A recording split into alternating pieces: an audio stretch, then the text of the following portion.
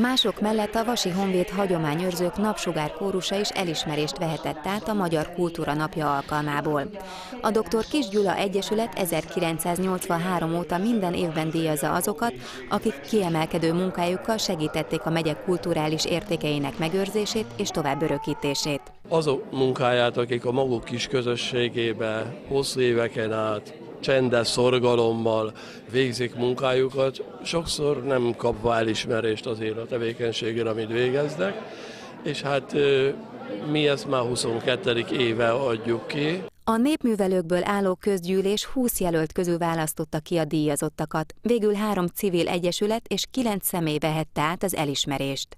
Közöttük a Szavária Múzeum botanikus múzeológusa is, aki szívügyének tekinti a természetvédelmet. Nagyon megtisztelő volt, hogy észrevették a, azokat az apró ténykedéseimet, amivel igyekeztem a köz ismereteit, elsősorban a természettel kapcsolatos ismereteit gyarapítani.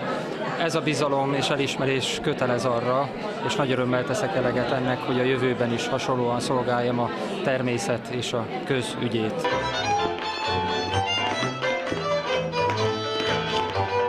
A tánc értékeinek a megörökítéséért dolgozik Büki László fotós. Szerinte a kultúra az egyetlen dolog, amely attól gyarapszik, hogy fogyasztják. Kimondottan elkötelezettek vagyunk ebben az irányban, hogy a kultúrával, a helyi és a megyei kultúrával és a kulturális értékekkel foglalkozzunk.